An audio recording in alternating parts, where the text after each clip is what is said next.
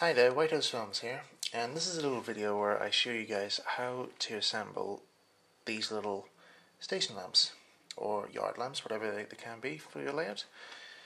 And so, this is, uh, I'm recording this now a bit ahead of time, where I've just finished building this model, so we're going to go a bit back in time, and to where I'm going to show you how to make these little lamps.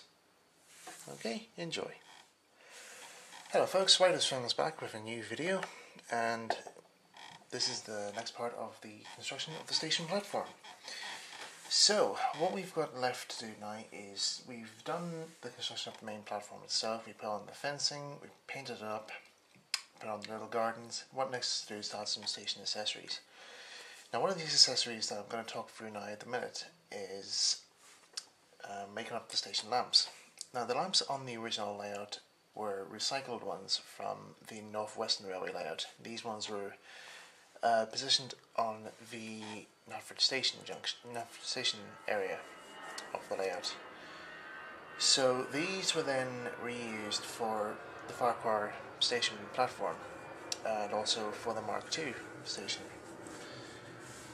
So to try and sort out what make these these lamps were was actually kind of difficult. So I tried finding some online, but uh, not really much success. Though there was one brand, it was like a German brand, but their ones it doesn't they didn't really suit um, the ones I was looking for. They were close. They were sort of a close resemblance, but they're not necessarily the ones I was looking for. So the best option was to try and make them up myself, which didn't turn out pretty well. So uh, I asked a friend to see if I can get some made for me, which he made for me on um, using like a 3D printing software or for 3D printing. And this is what they came like in the sprue. So this is for uh, the actual post itself.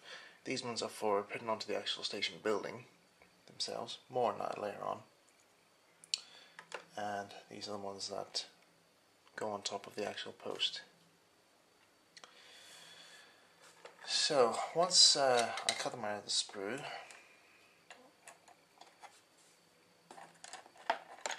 that's what they look like. It's only two parts really. And then what you need to get, do is to get some some wire.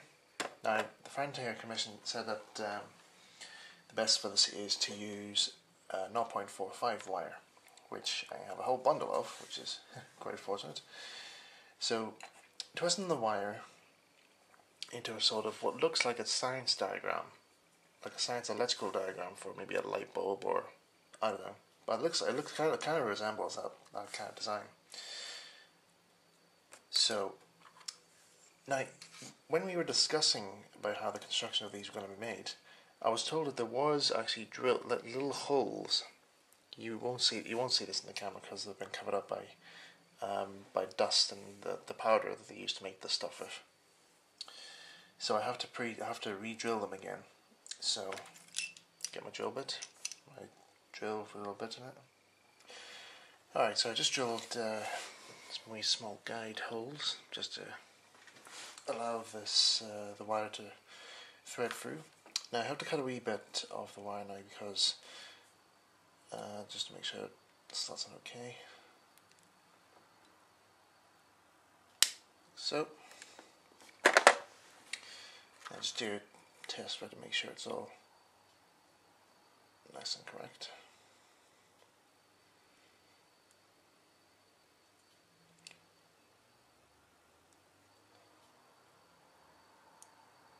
Okay. So, next thing to do now is a bit of super glue.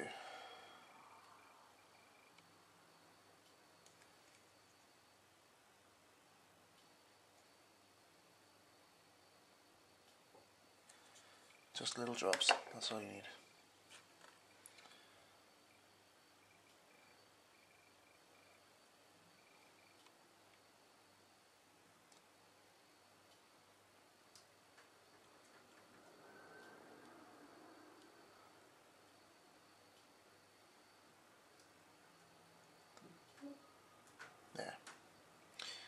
And just for extra, just for extra safety, like just get some UHU glue or contact adhesive. Just go over the top, just make sure you have a good seal. Sometimes super glue might not stick it all stick it down all that well, so just ensure a good bit of good support. Okay, and then we just leave that to dry for a while. And we'll stick on this bit.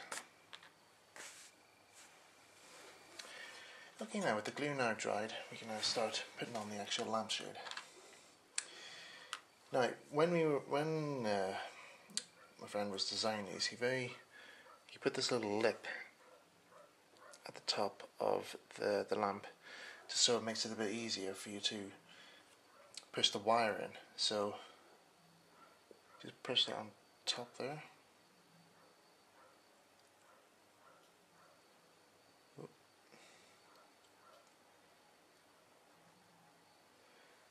Just push it on top like that there and then with some super glue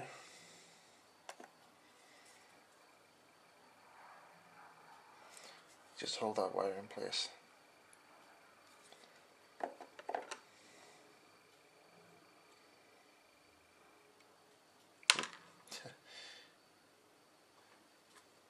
Try again.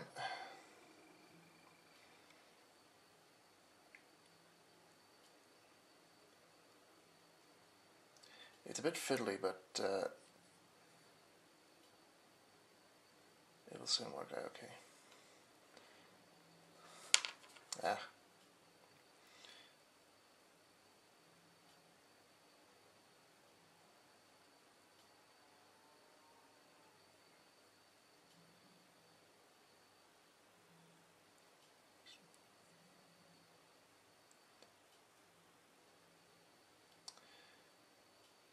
Just hold it in like that till the glue sets. Right, whilst we're waiting for the glue to dry, we're going to see about making up this little hand, like a little bar, this is one of the finished ones I have, you can see here there's a little bar that goes across right here. So that's just basically a bit of wire which I just cut. So I'll just cut off your snips.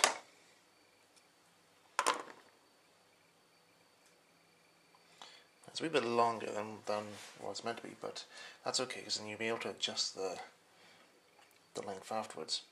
Now on the side, you might not see that well, but there's a little hole right there. So what you do is you get your wire and you just thread through the hole like that. and then just secure it in place with drop super glue.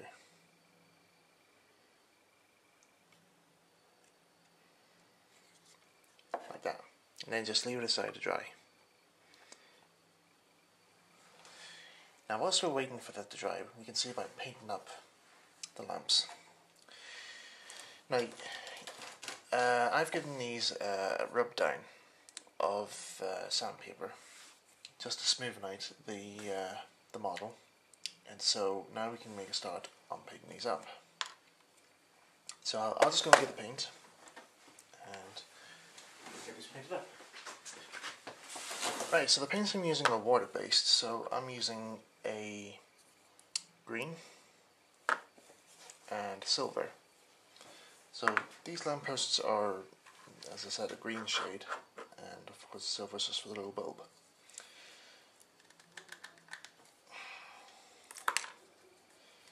So give the paint a good shake, mix it up.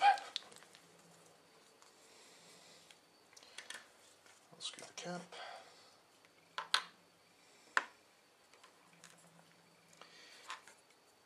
Because it's water based, it'll be easy to wash your brushes in, in warm water. So you get your brush, get a good wee dab of paint, and then just brush it on.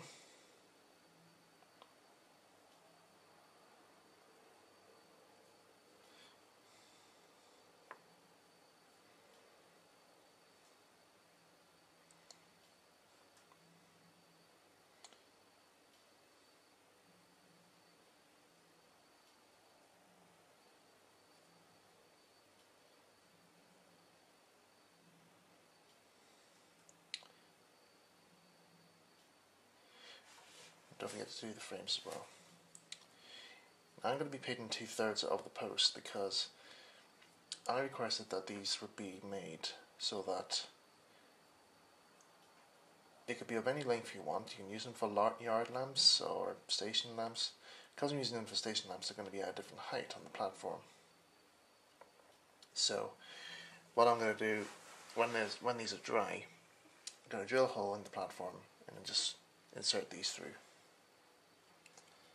and then that'll sort them out for their height wise.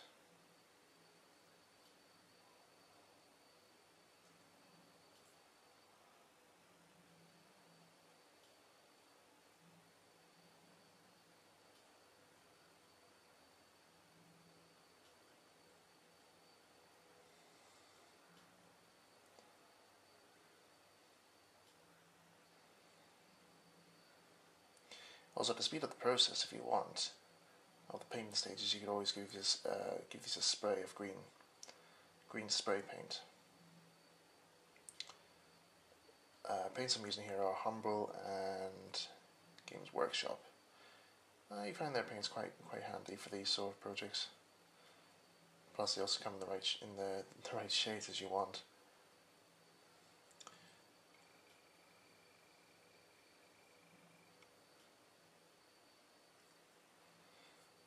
side.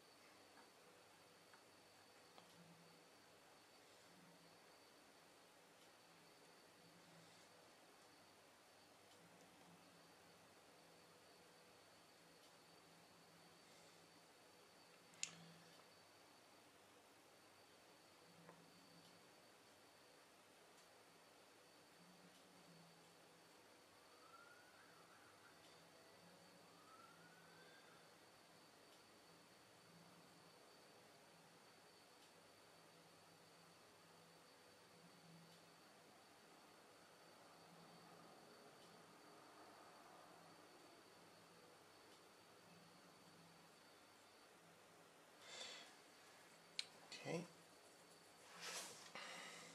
And then put that paint on one side. Then we can go and paint the bulb.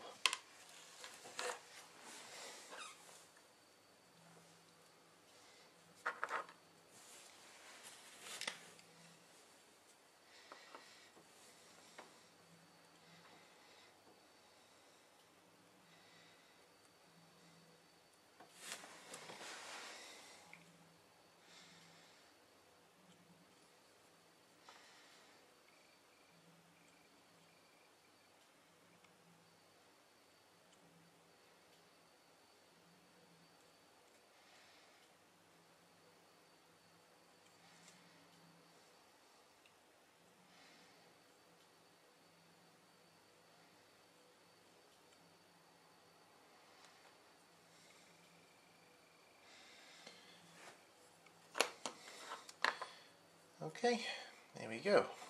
And we just, we'll give that a blast of uh, matte varnish and then we can install onto the layout. Okay guys, thanks very much for tuning in. I hope you've enjoyed this little tutorial and hope that it was of good use to help you make up these little lamps. If you have any questions, feel free to ask and I'll do my best to answer them for you. Okay guys, share and subscribe onto the channel if you want to see some more content and Thank you again for watching. Bye bye.